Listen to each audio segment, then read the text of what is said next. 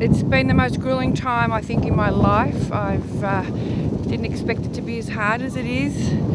And uh, actually, on the first day, I didn't think I'd make it, but um, it's now day four, and I'm still here, and I don't plan to give up now. I have breast cancer, and uh, I certainly needed this wellness centre during and after my treatment, and I know anybody else going through cancer will also need this centre. So come on, sponsor our steps, get behind us in the fight for cancer, and uh, put your money where your heart is. And get on, log on to www.greatwalktobeijing.com and get behind us. We're doing it hard so you can have a better centre. So come on board, and especially even the Harley riders. Come on, you Harley riders, come and support me. Thank you.